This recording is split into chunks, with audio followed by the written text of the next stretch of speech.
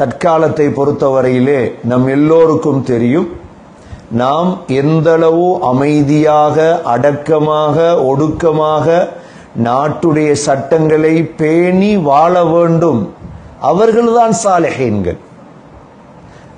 ஒரு நாடு சொல்கிறது சுகாதாரத்துக்காக இருபது நாளோ முப்பது நாளோ ஒரு மாதமோ வீட்டுக்குள் இருங்கள் என்று சட்டம் வந்தால் அதை மதிப்பவர்கள் தான் சாலிஹீன்கள்.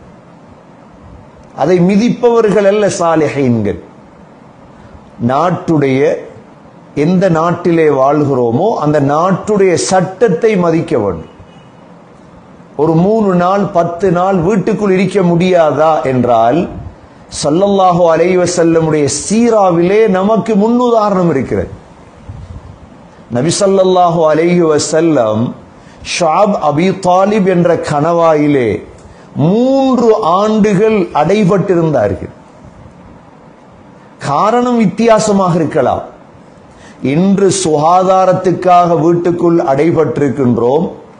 சல்லல்லாஹு அலைவ செல்லமை மூன்று ஆண்டுகள் காஃபிர்கள் அடைத்தார்கள் என்ற காரணங்கள் வித்தியாசப்பட்டாலும் உள்ளே இருக்கலாம் என்பதற்கான ஆதாரத்தை நான் சொல்கிறேன்.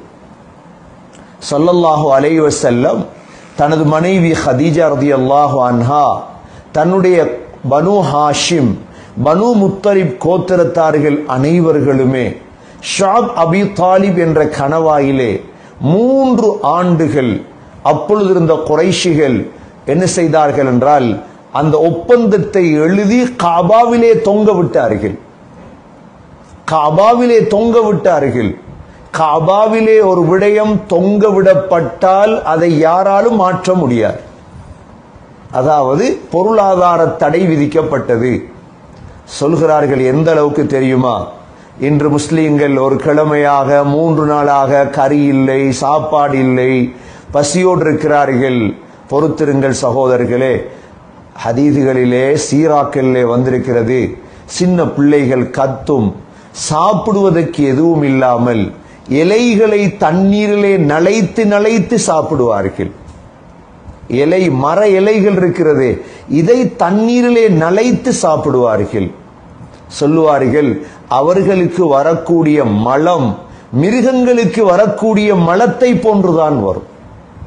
அவ மூன்று ஆண்டுகள் அபு தாலிப் என்ற கணவாயில் சல்லல்லாஹு அலைஹி செல்லம் தன்னுடைய குடும்பத்தாரோடு இருந்தார்கள் என்றால் இன்றைய முஸ்லிம் சமூகத்துக்கு ஒரு மாதமோ ஒரு பத்து நாளோ ஒரு இருபது நாளோ வீடுகளுக்குள் இருக்கும்படி சொல்லப்பட்டிருக்கிறது சுகாதாரத்துக்காக அமைதிக்காக. எனவே நாட்டுடைய சட்டத்தை பின்பற்ற வேண்டும். ஒவ்வொரு தாய்மார்களும் இதை மதிக்க வேண்டும். பலர் கைது செய்யப்பட்டிருக்கிறார்கள். குரானை ஓதிக்கொண்டிருக்கலாம் நோன்பு பிடிக்கலாம் அஸ்மாவுல் ஹஸ்னாக்களை தொடராக பேசுகிறோம். ஓதலாம். அல்லாஹுவை நெருங்கலாம். நமக்கு என்ன பிரச்சினை? நாம் நோன்பு பிடித்தாலும் நன்மைதான். சாப்பிட்டாலும் நன்மைதான். பசியோடு இருந்தாலும் நன்மைதான். நாம் எதற்கும் அஞ்ச தேவையில்லை. எதற்கும் பயப்பட தேவையில்லை. ஆனால் அல்லாஹுடைய தொடர்பை உருவாக்கி கொள்ள வேண்டும். இந்த காலம் குடும்பங்களை நல்ல முறையில் வளர்க்கக்கூடிய காலம். குடும்பத்தினர்களுக்கு தீனை சொல்லிக் கொடுக்கக்கூடிய காலம்.